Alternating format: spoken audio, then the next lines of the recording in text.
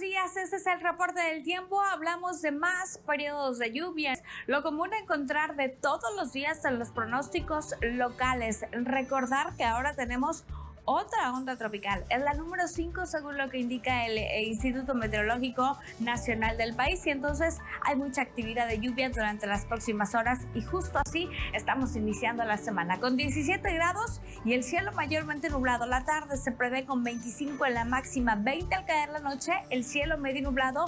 Durante la tarde es cuando la posibilidad de lluvia crece en un 70% y no es tan distinto por la noche porque aunque baja el 50% es un gran alcance y es un evento significativo de lluvia el que se prevé durante prácticamente toda la jornada, no del tiempo completo, pero siempre en periodos importantes con cielo mayormente nublado. Mañana martes, el pronóstico indica temperaturas de 18 a 24 grados que se repiten para el próximo miércoles. En ambos casos se extiende la posibilidad de lluvia. Alcanza para el jueves y todavía podemos repetir ese pronóstico para el viernes y sábado que incluso para esos dos días esperamos que haya más periodos de nublado con cielo mayormente nublado.